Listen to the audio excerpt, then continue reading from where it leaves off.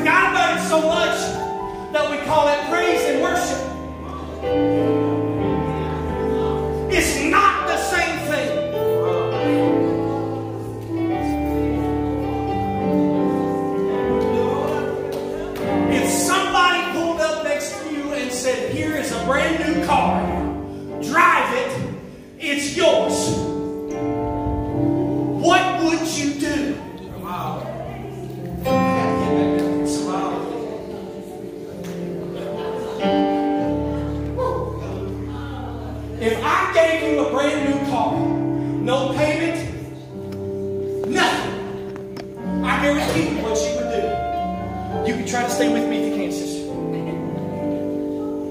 would lose.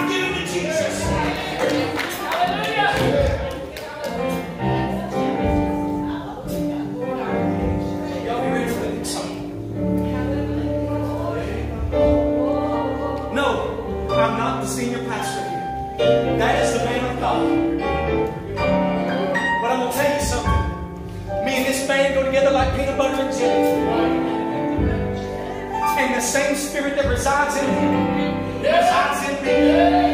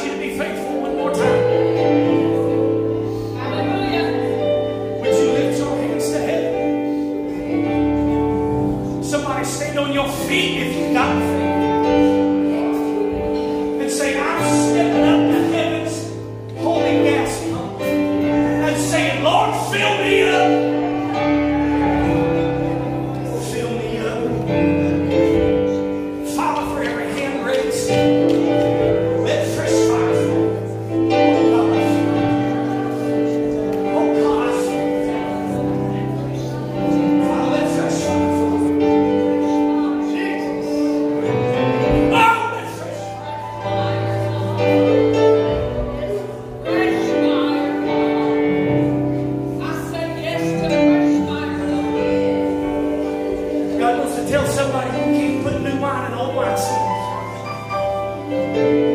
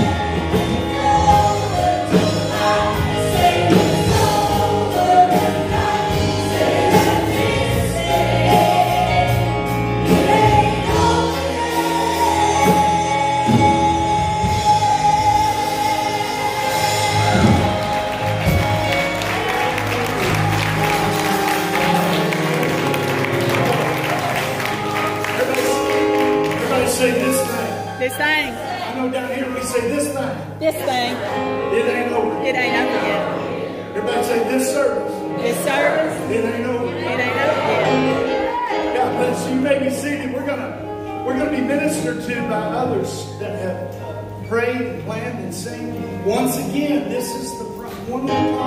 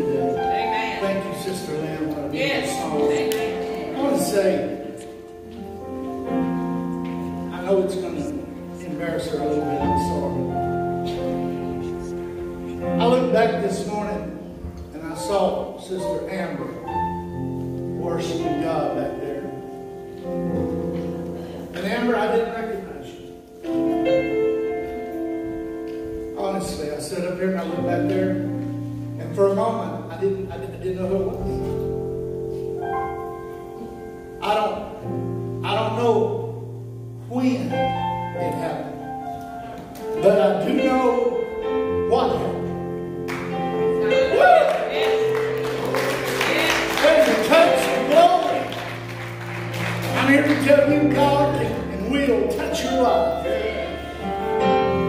You can be transformed by the renewing of your mind.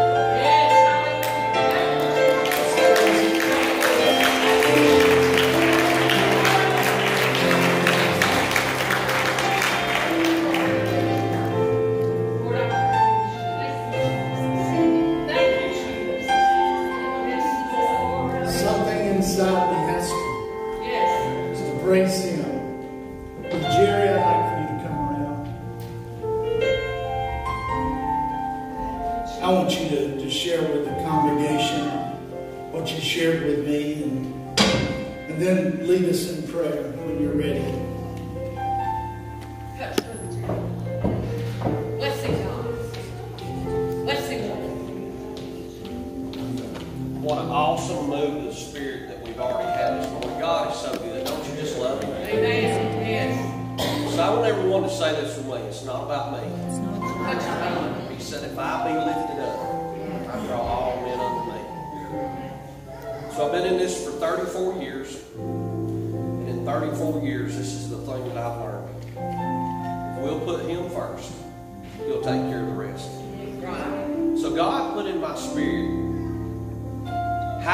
Teach people to apply the Word of God in their everyday life and live victorious?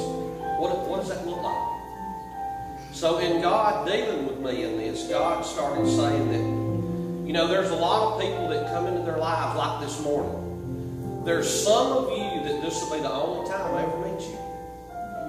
You'll go out the doors, you'll go your separate ways, I'll go mine, I'll never see you again. So what do I say?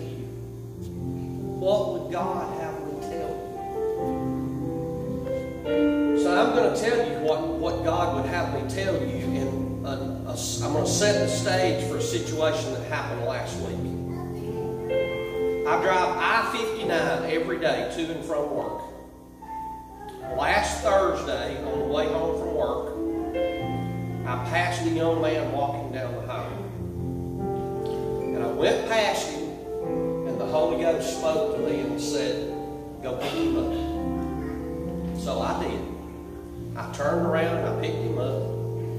And I got him in the car. And I'm praying and I'm saying, God, what I say to this young man? And I knew this would be the only time I'd ever see this young man in my life. Be the only time I ever had the chance to, to speak to him.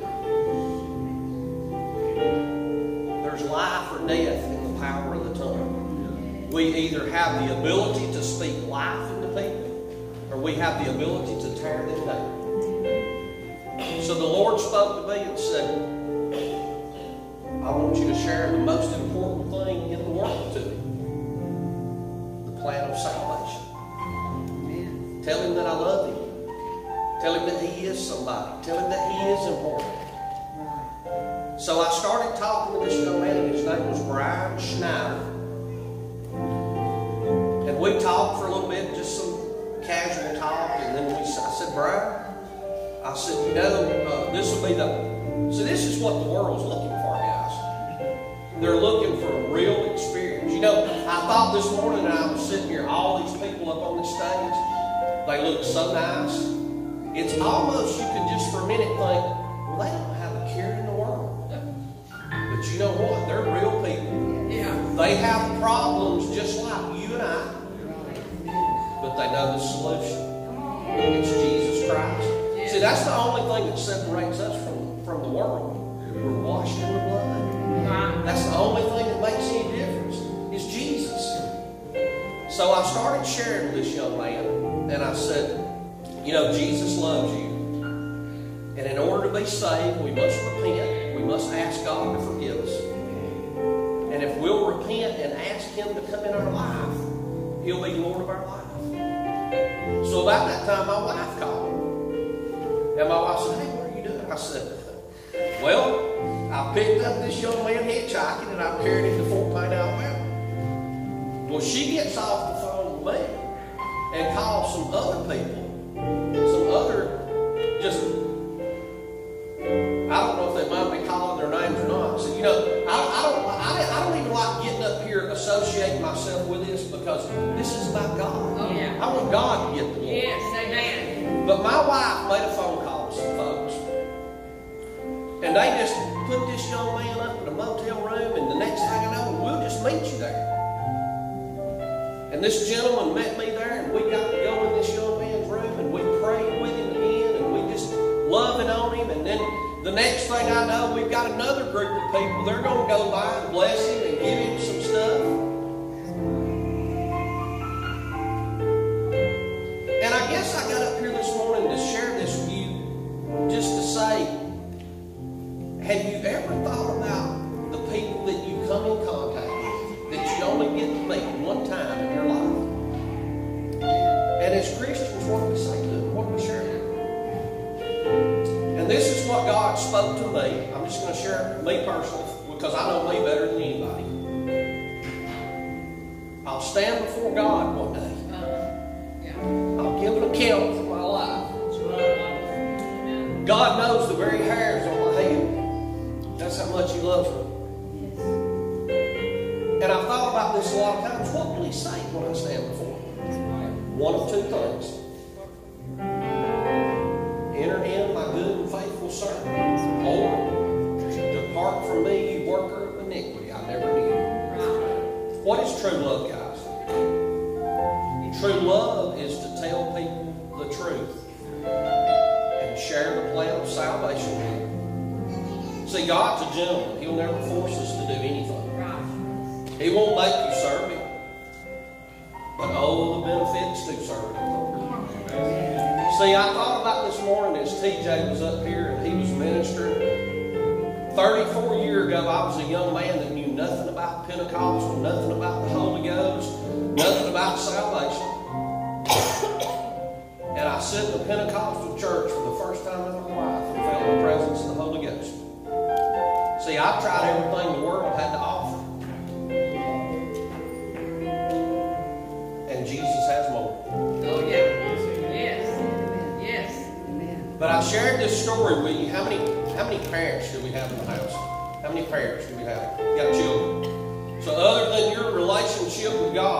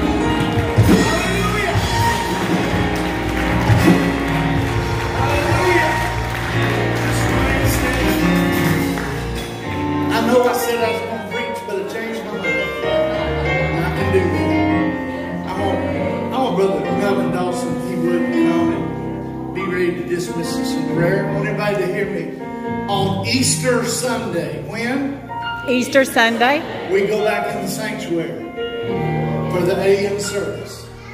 The next week, which I believe is the 11th, we will be in the sanctuary for the evening service. In other words, we're starting our Sunday evening services. Now, the youth service happens every Sunday evening as well. And uh, that's up to you which one this is a time to have less church. We need more church. Have we had church here this morning?